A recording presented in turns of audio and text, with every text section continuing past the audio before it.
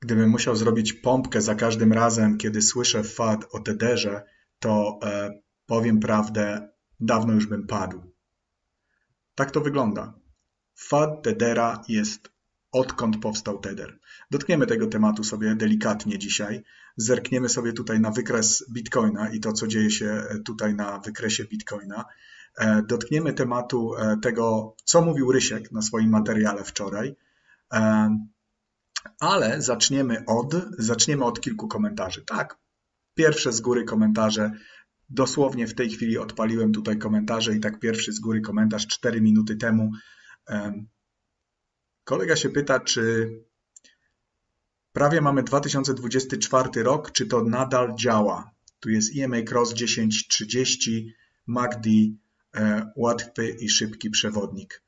Do dzisiaj e, moim podstawą każdej jakby decyzji dla mnie jest e, MACD, a więc ja uważam to, że to jest taki zestaw dwóch indykatorów, które od samego początku były bazą do podejmowania różnego rodzaju decyzji dla mnie. Więc jeżeli o to chodzi, czy to nadal działa, dla mnie tak, dla mnie to działa.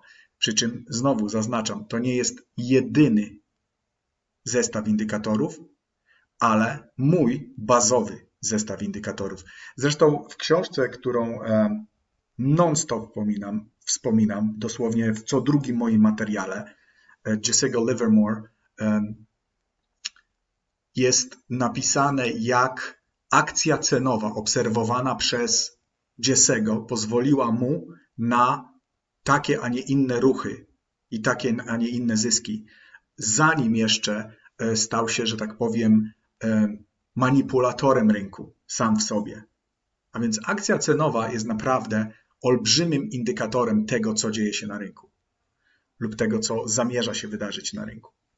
Zabawne, że słucham tego na koniec 2023 roku. Co tutaj jest?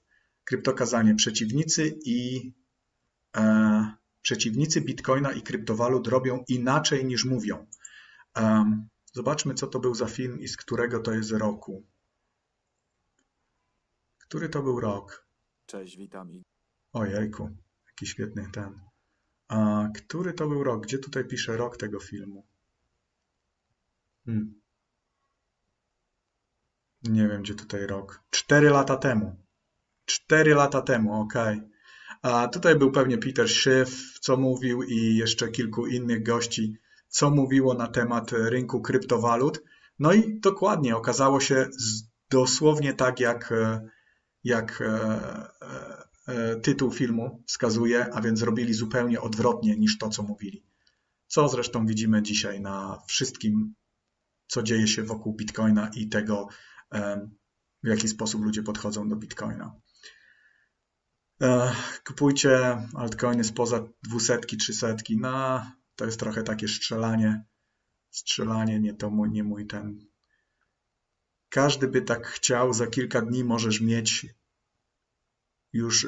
Aha, każdy by tak chciał, za kilka dni możesz nie mieć już za co kupić tego swojego Ethereum, bo giełda wyzeruje ci to, co masz. O czym tutaj mówimy? Um, spot trading.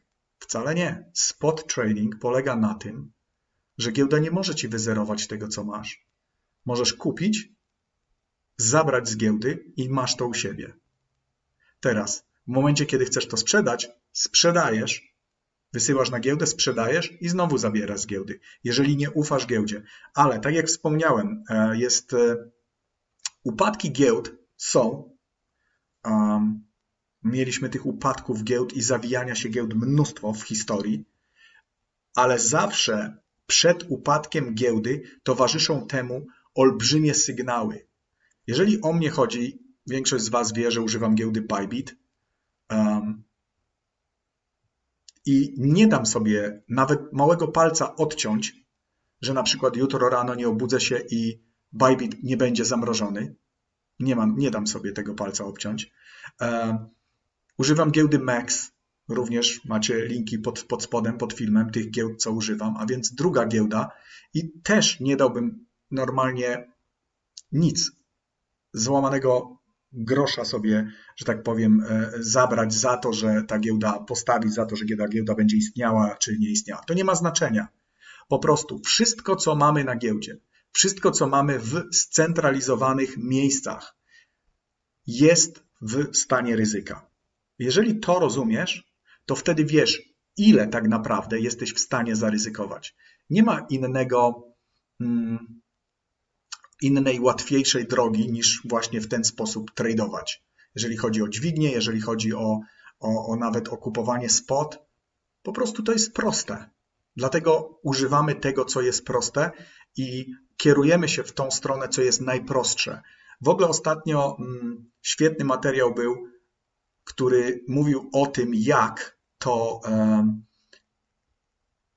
w tej chwili wiele osób, nawet Michael Saylor chyba mówił właśnie o tym, jak to w tej chwili e, instytucje takie jak banki i tak dalej powinny zająć się e, tym, aby być kustoszem naszych krypto dla ludu, dla tych wszystkich, co nie chcą być kustoszem swoich krypto samych dla siebie. Totalne przeciwieństwo tego, do, od czego my wychodzimy z założenia. Ale lenistwo ludzi i mm, taka łatwizna, którą lubimy obierać, dla większości będzie to idealne. Po prostu bank będzie kustoszem Twoich krypto, Ty będziesz zadowolony, że bank jest kustoszem Twoich krypto.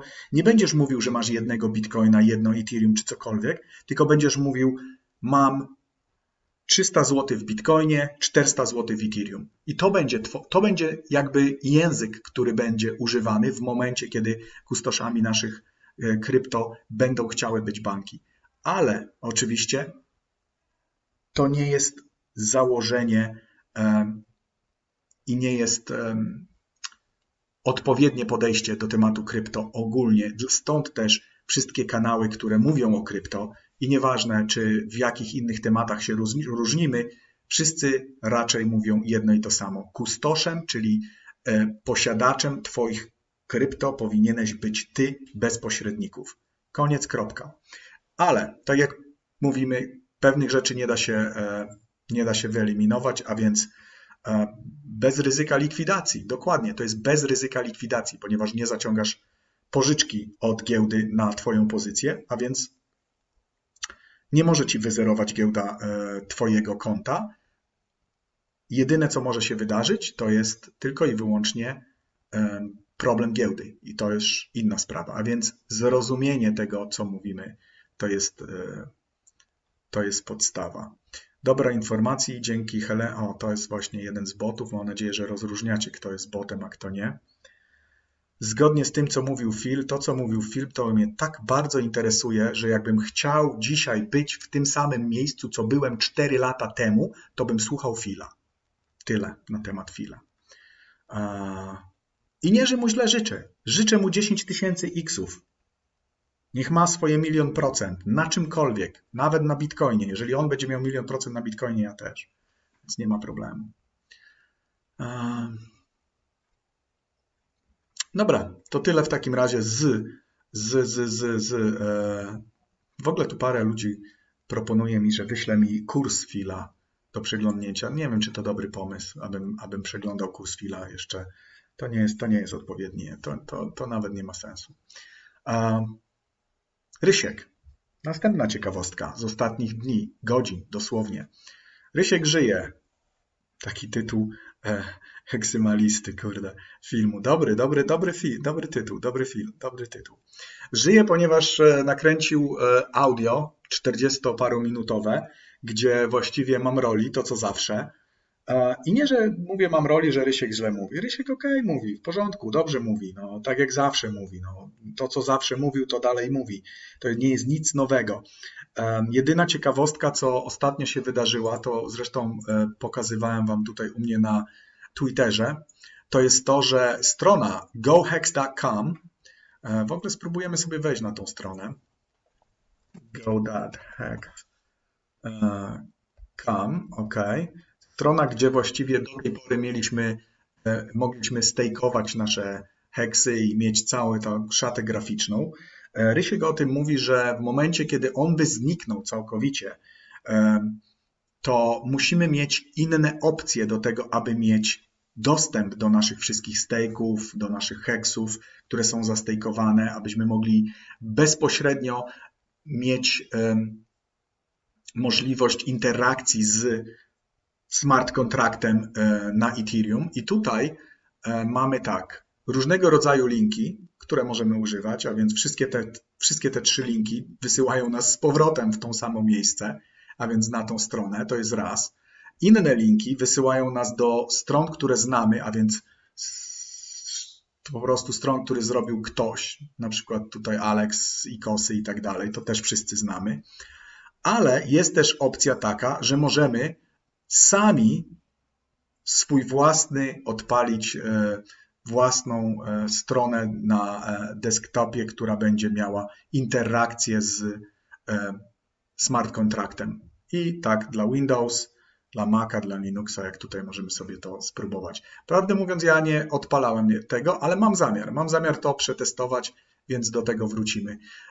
Myślę, że to jest, nie wiem, tutaj nie, nie słuchałem, nie chciałbym się powtarzać, ale nie słuchałem tutaj, co mówił co mówił e, heksymalista, ale moim zdaniem jest to e, dobry ruch ze strony e, Ryśka. Jest to po, po prostu totalne oderwanie osoby od tego produktu, czym jest w tej chwili hex i staking hexa, a więc w tym momencie już nie ma znaczenia absolutnie, czy ten ktoś tą stronę utrzymuje, czy jej nie utrzymuje. Każdy, dosłownie każdy, może sam robić sobie to, żeby mieć interakcję ze smart kontraktem i w swój własny sposób, czy też u siebie na komputerze, czy też korzystając z innych stron, które powstały. GoPulse, bardzo znana strona. Wszyscy znamy tą stronę GoPulse, bo tutaj mamy te czy też, e, tak jak e, mówiłem tutaj, i Kosę znamy i inne strony, których ja nawet nie, nie używałem nigdy ani nie znam, ale to są dosłownie bezpośrednie interakcje, strony, które pozwalają nam robić interakcje z portfelem, z smart kontraktem na Ethereum. I teraz tak, czy też na Pulse Chainie, teraz tak, to jest dobre. Moim zdaniem to jest dobre. Bardziej oderwanie się od tego e, heksa e, poprzez ryśka, ryśka oderwanie się od tego heksa i absolutne zostawienie go. Produkt jest, działa od czterech lat, niezmiennie, nic się tu nie zmienia, nic się nie może wydarzyć. E, portfel OA, czyli Origin Address, jest obserwowany przez każdego jednego heksiarza, czy tam coś nie, się nie dzieje. Rysiek zaklina się na wszystko, że nigdy w życiu nie sprzeda żadnych heksów z tego portfela, że ten portfel nie ruszy tych heksów. Ok, póki co tak to wygląda, e, więc e, nie ma tutaj, nie ma tutaj żadnych, nie widać tutaj żadnych złych intencji, wręcz przeciwnie, widać dobre intencje do tego, aby e, blockchain, aby interakcja z kryptowalutami była odpowiednia, czyli nie poprzez pośrednika, aby użytkownik mógł sam decydować, co używa, jak używa, mało tego, aby sam nawet mógł używać to prosto ze swojego e, e, komputera. To jest, to, jest, to jest bardzo dobry kierunek. Wręcz totalnie przeciwny niż to, co słyszeliśmy właściwie przed chwilą od Sailora gdzie Marky Saylor mówi, że o, oczekujemy, że banki będą kustoszami naszych krypto. Tragedia. Ale to się wydarzy. I teraz odpowiednia edukacja odpowi ludzi, którzy wchodzą w krypto przez y, krypto społeczność do tego, aby ustawić ich, że takie są zasady krypto, aby nigdy krypto nie oddawać w niczyje ręce. Not your keys, not your coins. Stare powiedzenie, nie twoje klucze, nie twoje krypto. Ale co? Ale wiele osób skuszonych poprzez to, że będzie, nie wiem, miało z tego prowizję, że ktoś będzie gdzieś u kogoś w banku, że poleci, mm, tak jak z Celsjuszem, jak ze wszystkim innym, może czasami pójść totalnie w lewo. No i wtedy w ogóle takie moja teoria spiskowa mogłaby być taka, że w pewnym momencie w pewnym momencie to będzie największy Celsius czy, czy FTX, czy wszystko to jest pikuś w porównaniu z tym, jak nagle jakiś kraj, powiedzmy, zadecyduje, że zamrażamy kryptoaktywa wszystkim użytkownikom i bum, i są zamrożone. Wiecie dlaczego mogą być zamrożone? Bo są w bankach, które mogą je zamrozić. Wciągniemy całą społeczność, pięknie to będzie, a nagle bum, zamrożenie, pozbędzie. No to, to się różne rzeczy mogą wydarzyć. Dlatego a, ostatnio mieliśmy zresztą piękny przykład z Australii. Jeżeli mieszkasz w Australii, napiszesz coś nieprzychylnego na Twitterze, no to, no to co? No to rząd y, zamrozi ci twoje konto w banku. Bum, pozbędziesz się pieniędzy. W taki oto sposób. Piękna sprawa, piękna sprawa. To jest, to jest wręcz, a z tym, co nawet teraz ostatnio słyszymy od, od Konfederacji, jak mówią o tym, nagłośniają ten temat w Unii Europejskiej, o tym, że każda nasza rozmowa może być i komunikatory wszystkie przez te, z telefonu mogą być sprawdzane. W momencie, kiedy mamy sztuczną inteligencję, jejku, wystarczy cokolwiek głupiego napiszesz, bum, połączone jest z tobą, z twoim numerem, z twoją osobą i z automatu może pójść i przejść na twoje konto bankowe, może przejść na twoje wszystkie aktywa, jakie są w świecie e, tradycyjnym. Po prostu Matrix możecie wykasować kompletnie. Zresztą mamy przykład z e, Andrew Tete. Totalnie wykasowany ze wszystkiego. Ostatnio mu nawet WhatsApp zamknął możliwość używania z WhatsAppa. No to niesamowite. To jest, to jest wręcz um, gotowanie żaby od zimnej wody poprzez ciepłą wodę, poprzez gorącą. I tak się dzieje. Dobra, nie wiem dlaczego ja w tą stronę poleciałem z tematem, ale chyba chodzi głównie mi o to, aby e, każdy z nas, który interesuje się krypto i który wchodzi w krypto, zaczął myśleć w sposób samodzielny i jak omijać pośredników, a korzystać z jak największej ilości kompletnie niezależnych zdecentralizowanych aplikacji i jeżeli używamy giełdy, to tylko i wyłącznie do odpowiednich naszych ruchów, a następnie kompletnie to nie jest miejsce, gdzie my trzymamy swoje środki jak w banku. Kumulujemy, odkładamy sobie, ani nic w tym stylu. To jest narzędzie. Do tego stosujemy. To jest tak jak, to jest tak jak e, papiery z e, martwymi królami, które mamy w rękach. Papier z martwym królem to nie jest to nie jest e, coś, co my powinniśmy odkładać, kolekcjonować, czy też e, oszczędzać. To jest tylko i wyłącznie narzędzie do tego, aby go wziąć i wymienić jak najszybciej na coś, na czym nam zależy. Coś, co podnosi nasze, nie wiem, na coś, co potrzebujemy, lub coś, co podnosi e, jakość naszego życia, ulepsza naszą jakość naszego życia. Po nic innego. Zdjęcia martwych królów tylko do tego służą. Tak samo jak na, na narzędzia, które mamy, jak giełdy, jak cokolwiek innego, co przez co musimy um, przejść, aby osiągnąć coś. A więc, jeżeli robimy jakieś akcje, no to wtedy używamy giełdy. Jeżeli nie robimy akcji, trzymamy to tylko i wyłącznie u siebie na portfelu. Głównie chyba o tym tylko Rysiek mówił, bo tak przesłuchałem te 40 parę minut i, i, i takie było głównie mówienie o tym, w jaki sposób to powinniśmy postrzegać i jak się do tego ustosunkowywać. Mam nadzieję, że heksymalista e, mówił podobnie. Teraz, jeżeli chodzi o USDT, o, to, o tym, co wspomniałem na samym początku, jeszcze, jeszcze ten temat chciałbym dotknąć, bo znowu tutaj totalnie się rozjeżdża retoryka moja, jak i wielu osób innych e, w świecie krypto. Tak samo, jeżeli podejście do inwestycji, podejście do ryzyka, rozumienie ryzyka, i, i, i takie inne rzeczy, to, to tu nam się rozjeżdża retoryka. Tether upadał odkąd powstał.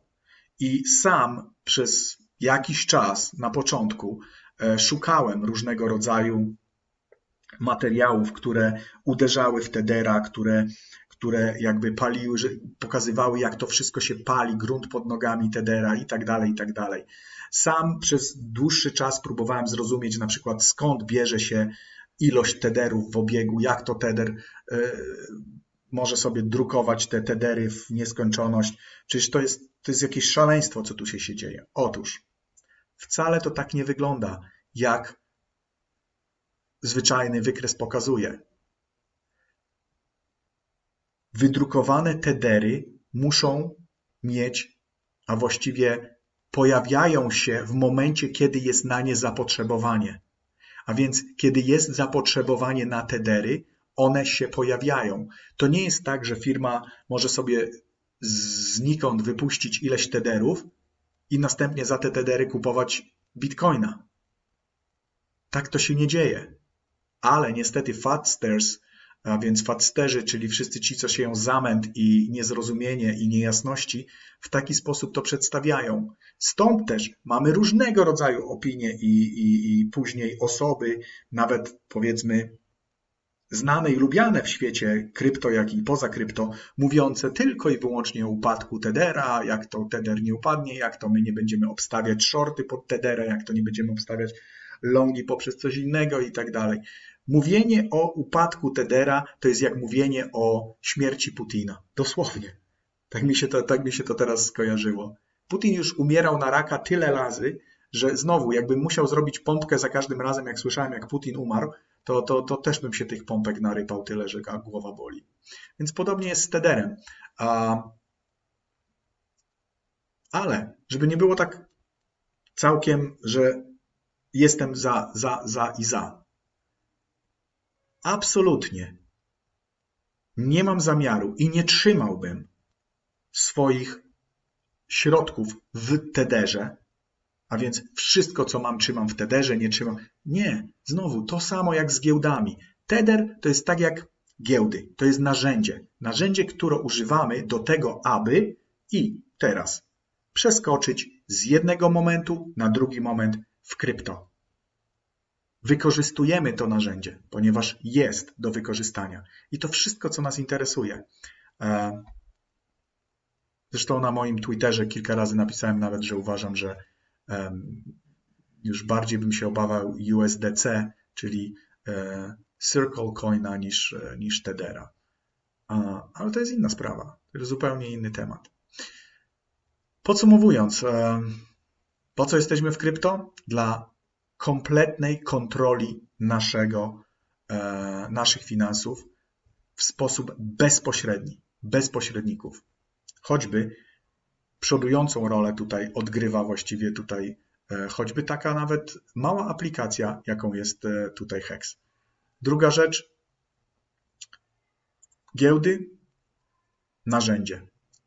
Tether, narzędzie. Musimy zrozumieć, co jest narzędziem, a co jest właściwie um, aktywem, które um, chcemy mieć i kumulować i trzymać i E, wykorzystywać je do tego, aby prześcigać inflację papierów ze zdjęciami martwych królów na nim.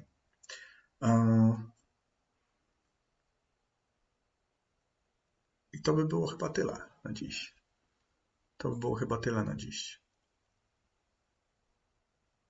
Co do heksa? 2,5 centa wspólnie razem i heks i pihex. Pamiętam czasy, jak 2,5 centa to było, euforia była, kiedy mieliśmy 2,5 centa za heksa. Pamiętam 3, 3 centy za heksa. Euforia, totalna euforia. Pamiętam, jak zbliżaliśmy się do 10 centów, chyba było 7 i ileś centa, to, e, to, to, to już był szczyt marzeń, żeby 10 centów było za heksa i wtedy w tej całej euforii i, i, i, i że tak powiem radości tego, że uu, Hex osiąga 10 centów, e, to zrobiliśmy tutaj wspólnie sobie Hexflex, a więc e, gitarę heksową, która tutaj stoi za mną teraz. To mi tylko przypomina nie to, że Hex był po dolarze, że Hex będzie. Nie, to nie ma znaczenia. To mi przypomina jedno, że cały czas jesteśmy w tym samym mniej, więcej miejscu, plus minus. I 2,5 centa, tak jak mamy teraz za heksa, no wcale nie jest mało. A potencjał jest olbrzymi, ale to już inny odcinek. Na razie trzymajcie się, cześć.